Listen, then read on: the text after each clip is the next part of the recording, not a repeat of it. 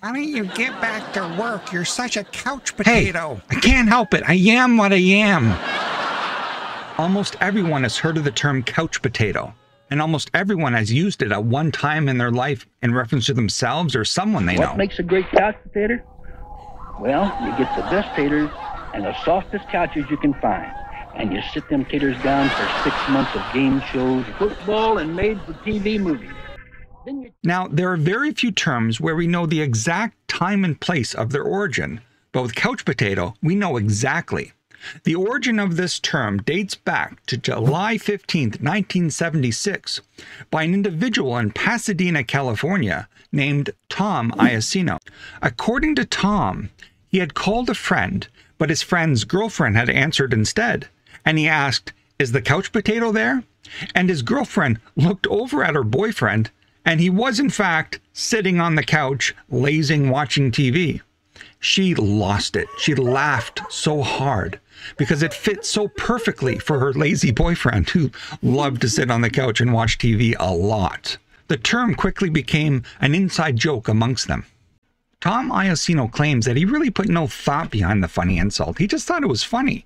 But linguists have explained that it's actually more clever than at first thought. Tom's friend, Robert Armstrong, a cartoonist, immediately loved the term and asked Tom's permission to turn it into a cartoon. Tom said sure. Now, both Tom and Robert were actually members of a group called the Boob Tubers. Their purpose, their goal, their life mission, as it were, was to sit in front of the TV and eat junk food. It's truly a noble goal. This is an embodiment of the saying that was inspired by the great philosopher Rene Descartes I don't think, therefore I am. Welcome, everyone, after a long hiatus to another video of Wize to the Wordz. My name is Sean. Everyone has heard of the term Word to the Wise. Well, this channel is called Wize to the Wordz, where in every video I'll examine an interesting word or a phrase or idiom in the English language and delve into its etymology, its meaning, its origin, and other tidbits and tangents along the way, so you can be wise to the words. In the 1970s, television acquired a very popular nickname. It was called the boob tube. The reason for this term is that televisions back then had cathode ray tubes inside them. These are called CRT televisions.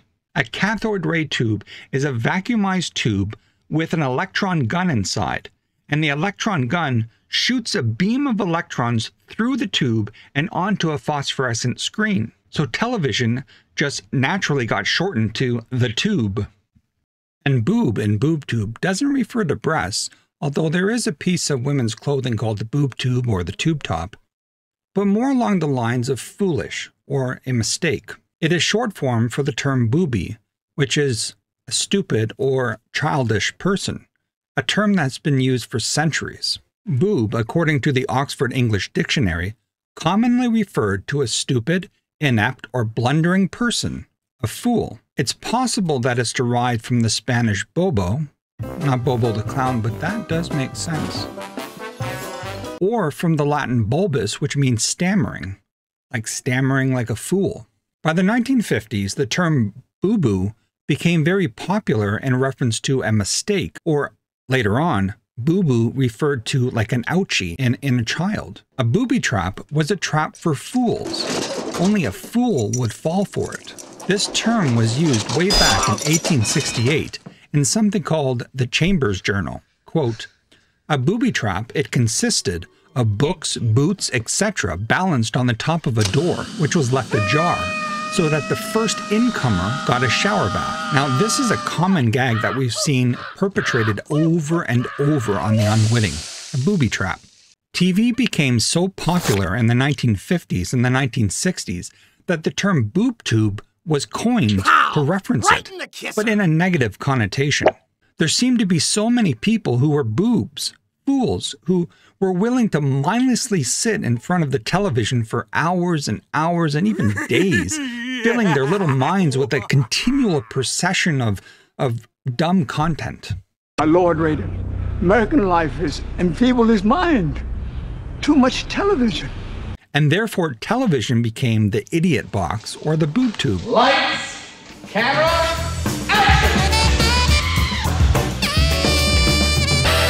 Attention, couch potatoes!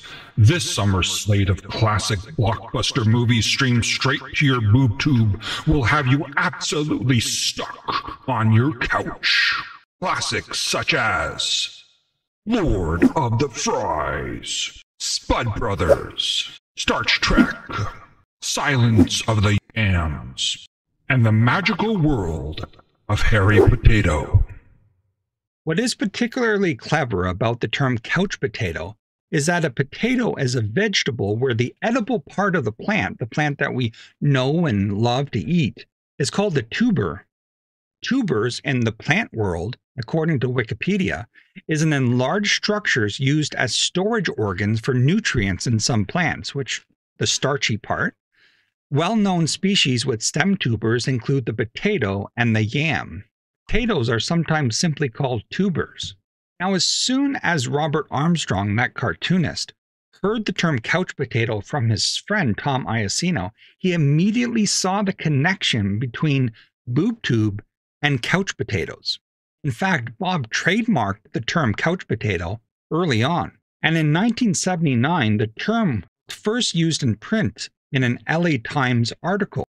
The couch potatoes who will be lying on couches watching television as they towed toward the parade route.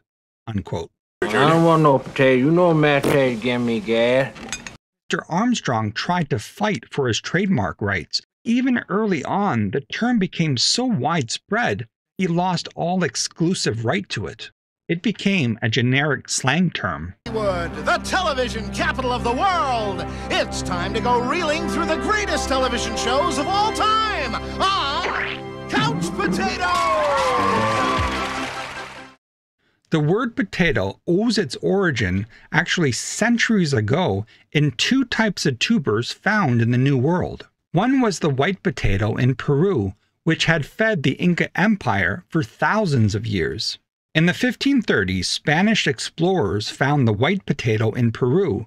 The locals called it tubers, but the Spanish called it papas. Another potato was found in Central America, the sweet potato. The Spanish called it patatas. It is these patatas that Columbus filled his ships with for food for the long voyage home. It doesn't suit you. Sorry, sir. I'm the clever one, you're the potato one. Yes. The word tater was used in print in 1759. The phrase to drop something like a hot potato was used in 1824. And the children's counting game that begins one potato, two potato is Canadian and dates back to 1885. The word couch is from the Latin verb collocare, to lay, to place, to station, to arrange. Broken apart, it's from two words com, which means with or together, and locare, which means to place. And ultimately from locus, a place. Could he have? It is! Puppy Peter, my sofa! Ah! Sure. Well, what is it then? my new sofa, Puppy Peter, my new sofa! Ah! It is from the 14th century that it meant a bed, from the Old French couche, a bed or a lair, and from the 15th century it meant a long bed upon which one rests at full length. Now, Billy, if you spell this correctly, you pass second grade. Couch. C.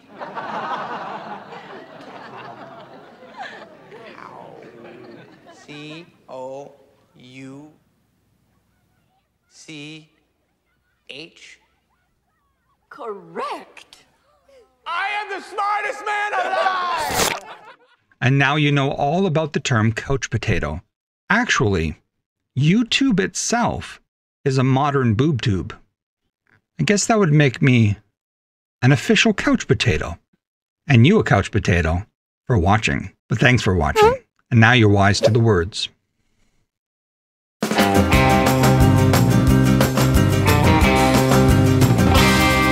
Couch potato, the complete vegetable, each sold separately, new from Coleco. Plant one next to someone you love. Do buddy do